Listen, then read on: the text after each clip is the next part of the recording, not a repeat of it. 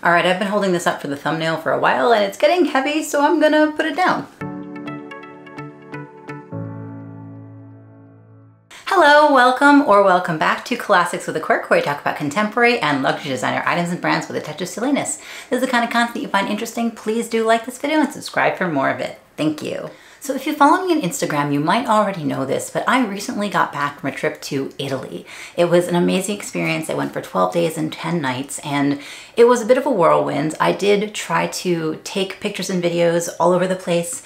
I didn't vlog a lot on the trip, but I did take a lot of pictures and videos, so I'm going to try to get at least one or two videos out on YouTube on my channel about the actual experience. So it's more gonna be a sit down story time, but I hope it'll be enjoyable. Uh, feel free to stay tuned for that if you like that sort of thing. It was a lot of fun. I also did make a purchase or two, so I will be sharing that in a video as well, so stay tuned for that.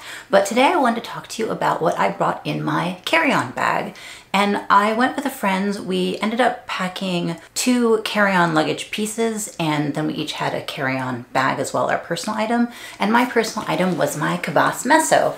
And now you've probably seen this bag before on my channel because I did a video where I bought it pre-loved from Japan on eBay. And I also did a video where I cleaned it up and uh, spruced it up a lot and cleaned up the vachetta and cleaned up the canvas and that's a video. If you're interested in checking that out I'll link that above and below for you. But I don't use this bag very often as an everyday bag. I bought this primarily for a travel bag. I was going to use it as a work bag too but my Cabas piano my smaller size works really well for that so mostly that's what that is used for. But this travel bag it's huge as you can tell. Not as big as like the Neverfull GM this is about Neverfull MM comparable, I think, maybe a little bit bigger. But the really nice thing about this bag is it has a zipper on the top, which means security and also if it falls over, all your stuff isn't spilling all over the place. And so yeah, this was my travel carry-on personal item bag and it fits so much and I figured today I would just share with you what fits inside this bag and thus what I took with me as my carry-on on the trip.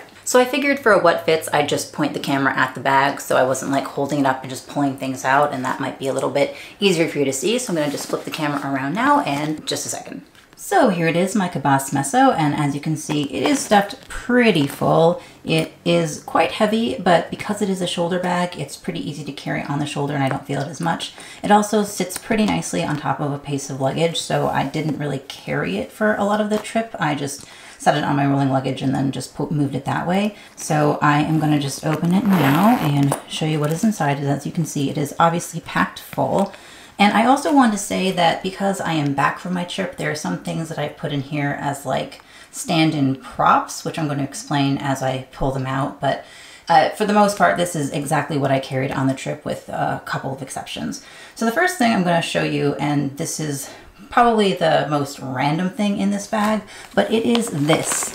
And this is a package of chocolates. This is a stand-in. This isn't what I took with me on the trip because this package of chocolates wasn't for me. Every time I travel by plane, I always buy a box or a nice like wrapped bag of wrapped chocolates, individual chocolates for the flight crew.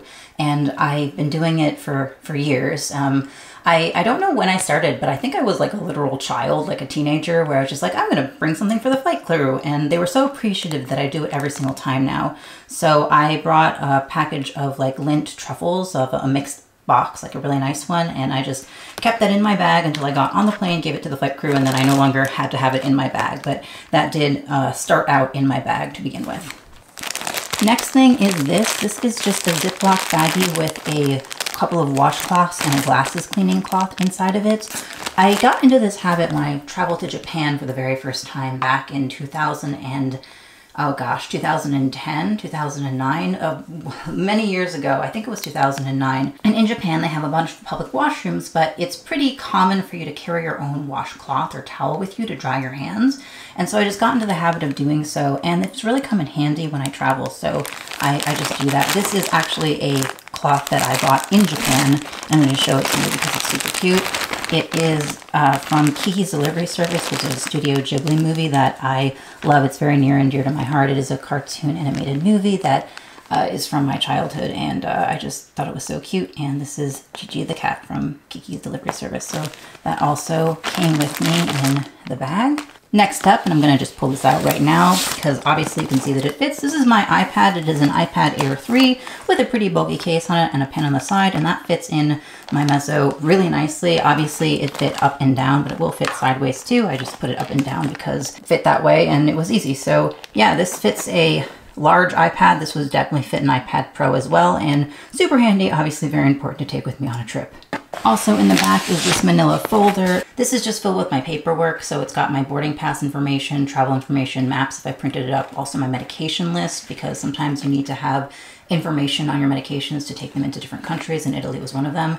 Luckily, I didn't actually get stopped for my medications going into Italy, but it is something that I have had to do for other countries, so I just want to make sure that it's all clean and neat and in a convenient location. This also has a copy of my passport, driver's license, and a vaccination card, like a paper copy that I just made on my printer. So that's a just in case thing to have with you. And I definitely recommend carrying one of those with you just in case when you travel too. So there's that.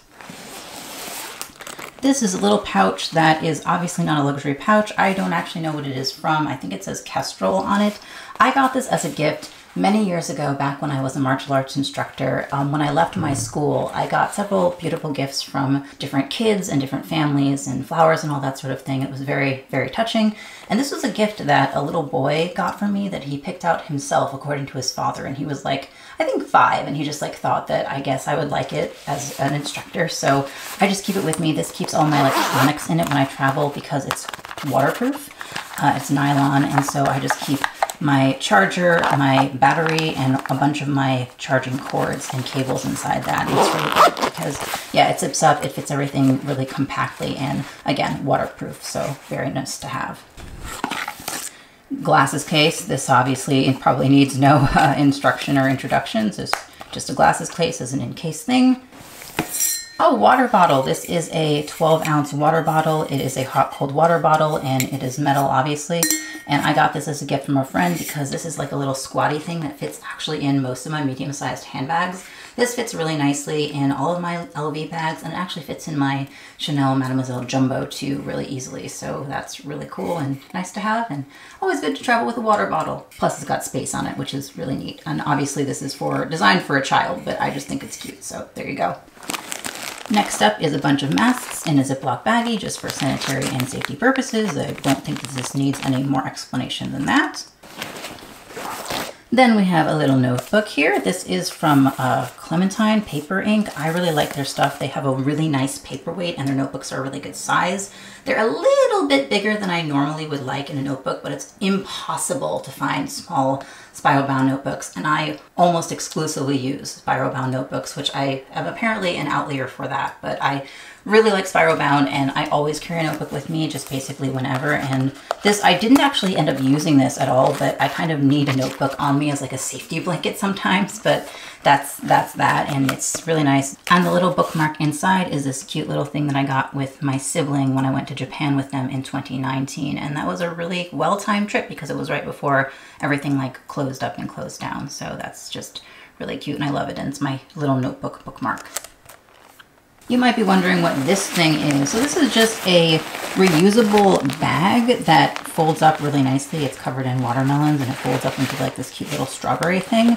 And inside this is just a bunch of stuff that I wanted to keep kind of separate in my bag, but still kept in my bag. And then once I took them out when I got there, I had a little reusable bag to use as like a shopper if I went to like the grocery store or a market, which I did do with my friend at least once. And so inside here is just like stuff, like I've got a pair of socks and like an extra pair of underwear in here.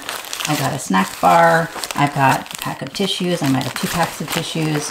I also have my sleeping gloves for on the plane. I sleep with gloves on my hands, which is a very unusual quirk. I'm quite aware of that, but I, I do. I have since I was literally 16 years old, and at this point, I can't sleep without gloves. Like, I won't fall asleep if I don't have gloves on my hands. So I always have to carry a pair of sleeping gloves with me when I travel, which is very, very unusual. I'm quite aware, but that is what it is. And then I also have a sleeping mask in here, a silk sleeping mask. So, and then again, when I take everything out, I have like a little foldable bag that is just very convenient. And I have used this a number of times when I travel. We're not done. We're not done. So in here is a, it's a little makeup kit And in this, this is just from Clinique. I got it when I got some uh, makeup together. It was it came with a little kit. And in here is just a little bottle of travel ibuprofen, some non-drowsy Dramamine, which is very important for me when I travel on planes and buses and trains. I have some eye drops in here because my eyes do get super dry when I travel. I also have a chapstick and not inside this bag, but what I did carry with me was one of my prescription medications and that little piece of paper was another piece of paper that showed for my doctor and also in Italian what the medication was and what it was used for. So just in case for safety, I got stopped or something. That was what that Oh, all was. Bottomless pit, isn't it? I love this bag. It is so useful. It's so good. A great travel bag. Highly recommend. But this is my little Teppy. It is my travel Wi-Fi kit. So when I travel abroad, I usually rent a travel Wi-Fi kit if I'm not going to be using my phone or service, because sometimes I just don't want to bother to do that. And Teppy is a program that you can rent travel Wi-Fi, and I think it was something like eight or nine dollars for five gigs a day, which was plenty for me. And then my obviously my hotels had Wi-Fi in them, so it just is this little portable kit that you charge every night and just carry in your bag, and then it comes with a very use useful universal charger, which is quite nice to have, and then a little uh, kit and stuff to uh, call them if you need any help. So I, I do recommend traveling with a travel Wi-Fi if you're not going to use your service for that. And Teppy is a pretty good program, so I would recommend them. We are finally coming down to the end, I promise. Just a few more things to go. I just have some gum. This is Trident sugar-free gum with xylitol in it. Good for travel. I don't think this needs a lot of explanation. It's gum. My sunglasses, these are my Fendace sunglasses in their little Fendi case that they came with. I have a video on these. I love them so much. They are so cool. I did end up wearing my contacts a lot on this trip just because it helped with, you know, not having my glasses fog up when I had my mask on or just in general, it was easier to not deal with glasses sometimes. And when the sun was out, you wanted sunglasses on, then I was able to use these and they were really fun to wear. I really, I really enjoyed wearing them when I had reason to, even when I didn't have reason to. They were just, they're very stylish and cool and I like them a lot. And I will link that video because I am so overjoyed with having them. Tucked down in a corner is just my other universal charger. I just got this off Amazon, I think, many years ago. It has served me well and it's just like good to have an extra. And I keep this on me in my bag. So in the terrifying event that my carry-on or my luggage gets lost for some reason, which did actually happen and is a story for another day, um, I, I do carry this with me in my bag. And then in the zipper pocket, which is a little bit more secure, I have my wallet. This is my Recto Verso. I love this thing. I use it all the time. This was my wallet that I used while I was in Italy, and it was just, the organization is so great. I had my cards in here on this side. I had my ID in here as a just in case. I had money in here and then like additional bigger bills in here and just real good, real good. I love this so much that I want to buy a second. I want to get one in the uh, Damier Azur. So I have to track that down because I just, I, I really want a second. And it, yes, very good. Recommend, very good. Then my phone. This is the iPhone 13 Pro, not the Max, just the Pro with a ginormous case on it and a little Mindsky uh, thing here, which is a phone stand slash uh, selfie stick and everything. I think this thing is so great and so useful. I will link it for you below because I highly recommend it. I use it for every phone that I buy now. I just buy a new one and it's just, it's so great and so versatile and it like flips around when you need it to and just so good. I, yeah, if you want to use your phone for filming and don't want to use like a selfie stick or carry a tripod with you, this thing is fantastic. Like you just, there you go. You know, it's, it's so, so recommend, highly recommend. So I will link this for you because it's, it's great.